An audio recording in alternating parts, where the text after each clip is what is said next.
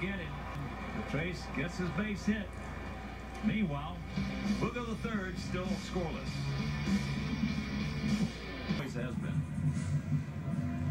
So one of the things that, you know, there's a lot of statistics that go with this, but Erick Aybar's last year, the ultimate zone rating, UZR, was second.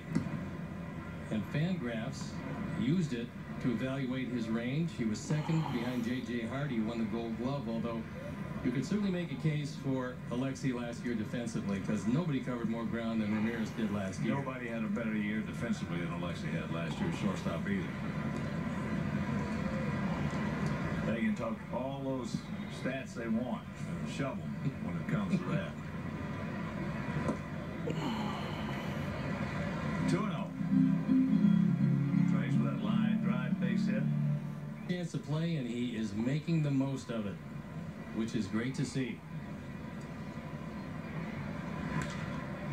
Another base hit. Goes right with a pitch. Nice approach.